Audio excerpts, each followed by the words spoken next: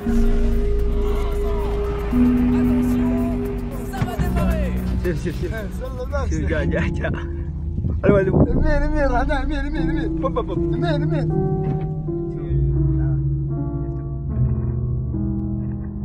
-hmm. you.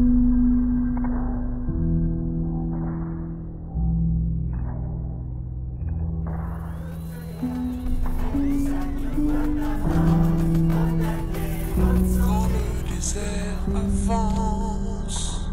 Vous avez permis qu'une transformation en profondeur de notre pays advienne.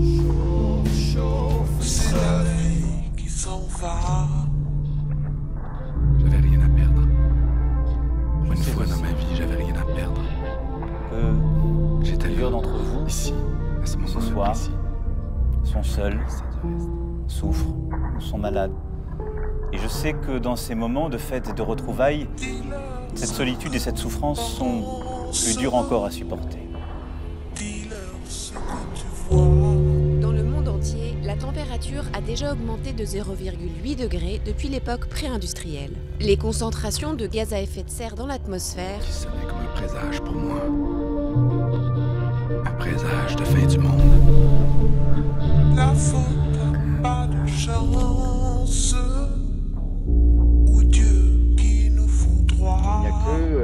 Le déclin, la décadence, la fin de quelque chose, l'homme euh, tué par sa civilisation. L'année qui s'ouvre, en effet, est celle de nombreux défis. Et nous construisons là une bonne part de notre avenir. D'accord, Hector, d'accord. Cette performance bizarre s'appelle une danse thermique.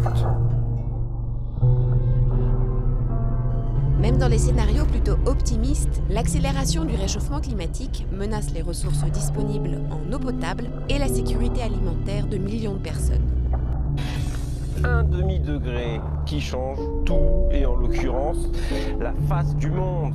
Nous continuerons donc l'effort indispensable pour réussir à pleinement respecter l'engagement que j'ai moi-même pris devant vous. Comptez sur ma détermination entière en la matière.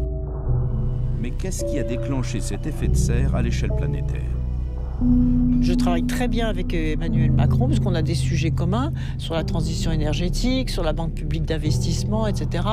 Donc n'allons pas chercher des problèmes là où il n'y en a pas.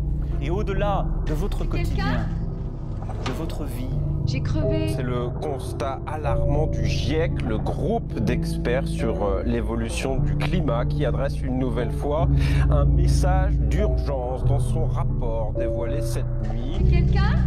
Demandez-vous chaque matin ce que vous pouvez faire pour le pays. Je vous espère en famille, au milieu de vos proches, de celles et ceux qui vous aiment. Mais j'ai surtout aimé le désert des Tartares. Dans une société, dans un monde destruction, euh, signifiait qu'une aventure personnelle d'un homme face à sa vie, dans son extrême solitude, Vagues de chaleurs extrêmes, élévation du niveau de la mer ou disparition d'espèces. grammaire de la paix et de l'espérance. Ce fut l'année du choix.